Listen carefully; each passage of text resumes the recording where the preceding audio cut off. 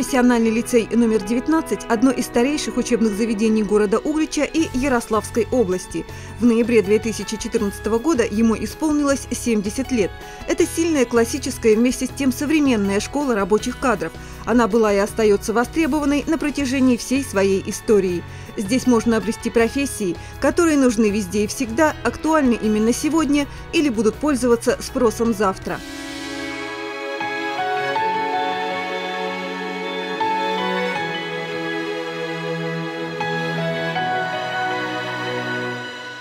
История профессионального лицея номер 19 начиналась в 1944 году со школы мастеров-сыроделов.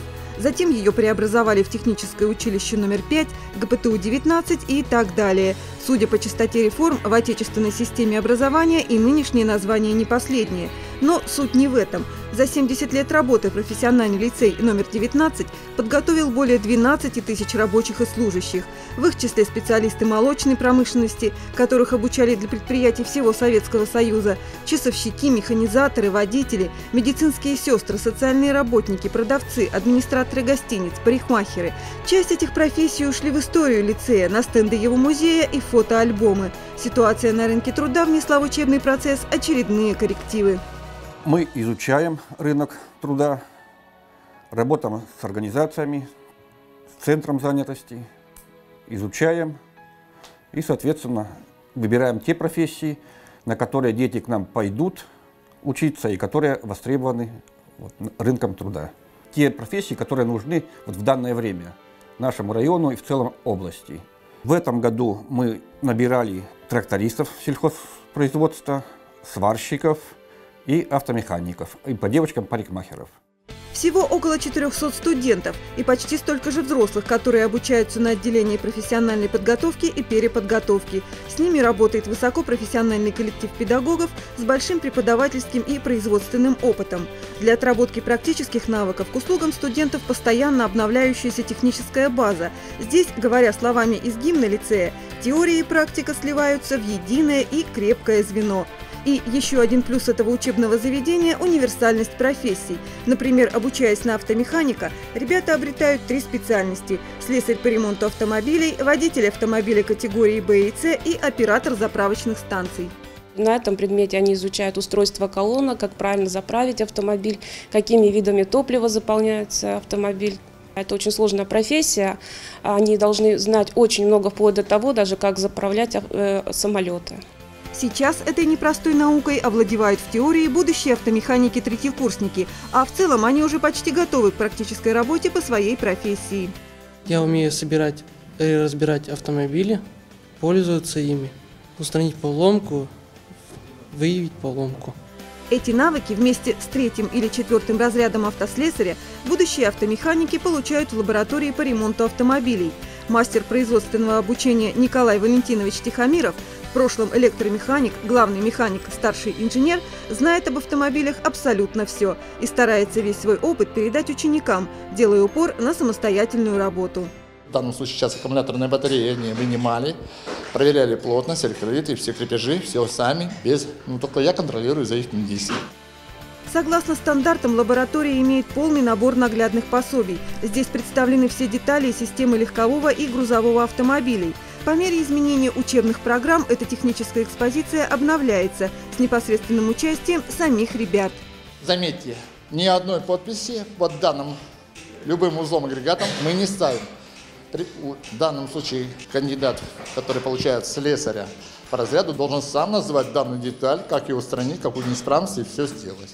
Обучение автомеханика-водителя также предполагает и строгий спрос, и насыщенную программу. Главная часть теории вождения – правила дорожного движения. Эту дисциплину с 1985 года преподает в лицее дипломированный инженер-механик с большим практическим опытом Ольга Анатольевна Наумова. Она в постоянном творческом поиске, поскольку старается преподавать свой предмет так, чтобы ученикам не было скучно. Вы первая э, полоса, вы вторая полоса. Какой, куда едем? Смотрите, по его возрасту.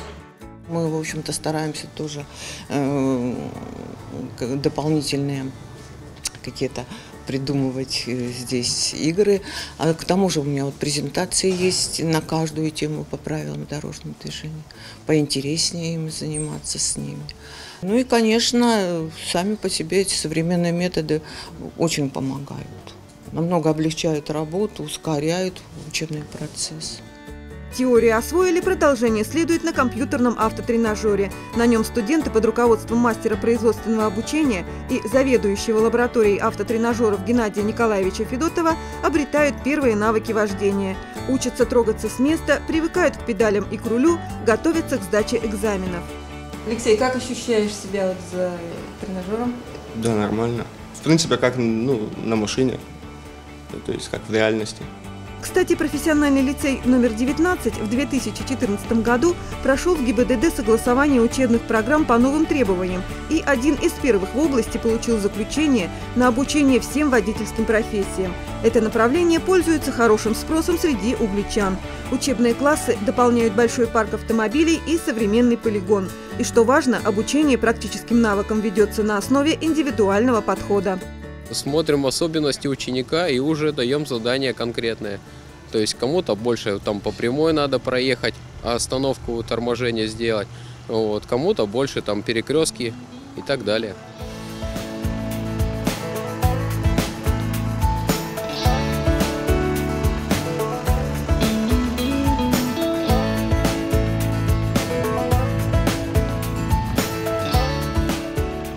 Занятия проходят хорошо, естественно. Первый раз было не так хорошо, как уже стало сейчас.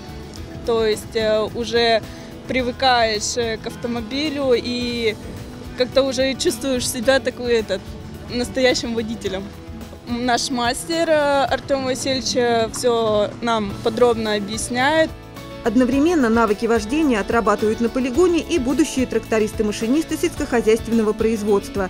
Своих воспитанников готовит к экзаменам мастер производственного обучения, техник-механик и педагог с 23-летним стажем Сергей Николаевич Мутовкин. Сейчас занимаются у нас вот второй курс ребята. С первого курса начинается у нас сразу производственное обучение вождения трактора. В принципе, они уже умеют. И сейчас просто вот отрабатываем элементы, которые будут на экзаменах. Сейчас вот работаем на тракторе, там, а потом на машине работаем после обеда. Профессия тракторист-машинист сельскохозяйственного производства, как и автомеханик, подразумевает три специальности. Тракторист категории С, Д, Е, Ф, слесарь по ремонту сельскохозяйственных машин и оборудования и водитель автомобиля категорий Б и С. Трактористов в профессиональном лицее номер 19 обучают с 1980 года, и все это время данная профессия остается востребованной как в городских, так и в сельскохозяйственных предприятиях. Администрация лицея активно сотрудничает с их руководителями по организации производственной практики для ребят и в плане их дальнейшего трудоустройства. Наше хозяйство давно сотрудничает, наверное, уже лет 20. Э, очень достойных детей воспитывают здесь, э, обучение хорошее дают. У меня в прошлом году, позапрошлом году были выпускники э, агрофирмы «Авангард», э, и на сегодняшний день они работают трактористами, хорошими специалистами просто. Последние годы, последние 10 лет в хозяйствах закупаются новые техники, новые технологии изучают.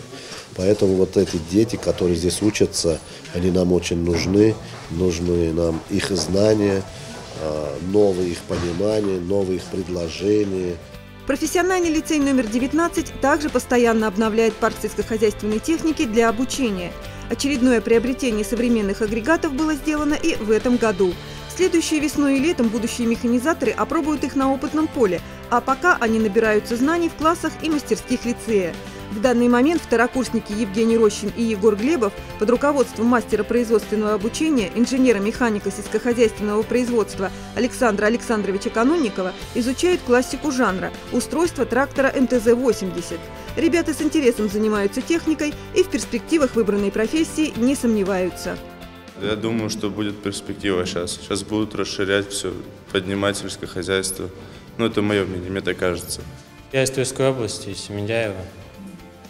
У нас там колхоз был сильный, сейчас уже тоже разрушенный почти что. Но приехали новые владельцы, поднимают. На втором курсе в конце буду, сдавать права тракторные. И уже летом буду там работать.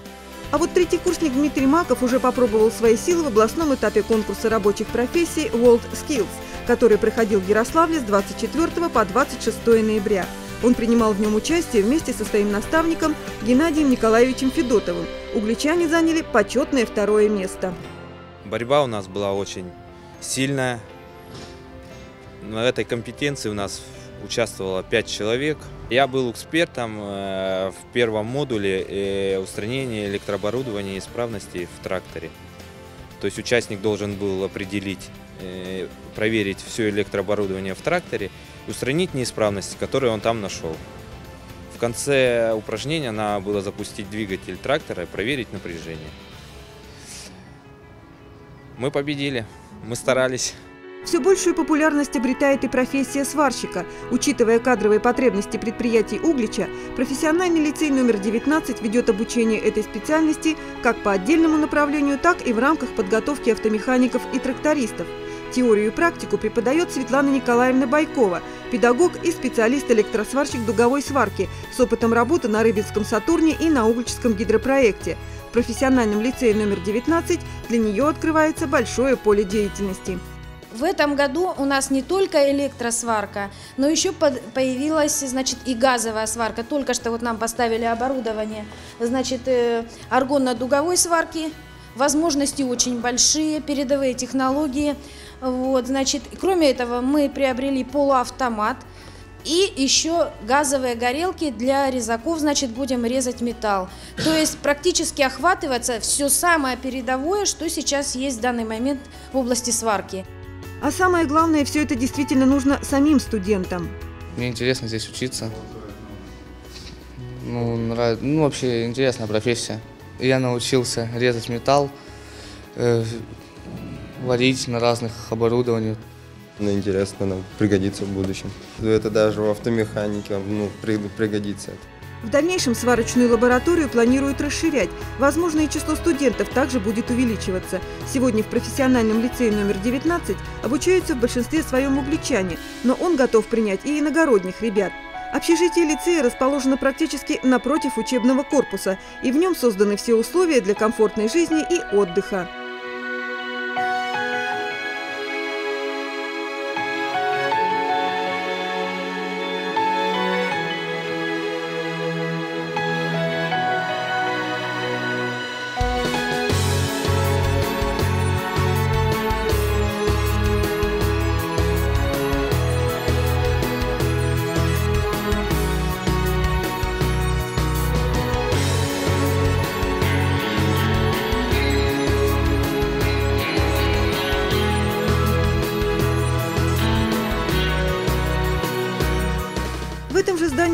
Находится еще одна производственная лаборатория, она же учебная парикмахерская, которая почти ничем не отличается от настоящего салона.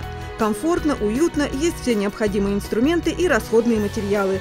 Будущие мастера осваивают искусство красоты на манекенах, но нередко сюда заходят и настоящие клиенты. Не будет преувеличением сказать, что профессиональный лицей номер 19 помогает кому-то реализовать свои мечты. Я как бы еще со школы любила заплетать косички, там, ну, заниматься вот этим вот. И когда уже к девятому классу подходило дело, я, когда родители начали спрашивать, кем я хочу стать, сказала, что я хочу стать парикмахером. Как бы мы сначала ну, решали, куда я пойду именно. Потом приехали посмотреть это учебное заведение, мне понравилось. Я решила, что я буду здесь учиться. Многому научилась, много теперь умею. Здесь очень много возможностей. Открывая профессиональные горизонты, лицей номер 19 дает студентам и полноценные знания по общеобразовательным предметам, которые необходимы любому специалисту. И уж точно в нашей современной жизни не обойтись без азов экономики. Преподаватель общеобразовательных дисциплин Надежда Николаевна Лапина, дипломированный ученый-агроном и разносторонний предметник, старается донести это до своих учеников. Мне бы хотелось, чтобы они в новых экономических условиях умели ориентироваться, найти себя. Вот, экономика дает это, потому что хоть мы и даем начальные как бы, знания, э, не глубоко мы экономику изучаем, но в любом случае э, они понимают, что такое предприятие, что такое ответственность, значит, быть на предприятии, какие должны быть результаты э, на предприятии. Они участники этого процесса, поэтому это очень важно. С экономикой района и области по-прежнему связаны перспективы профессионального лицея номер 19. Изучение местного рынка труда продолжается на предмет новых востребованных профессий.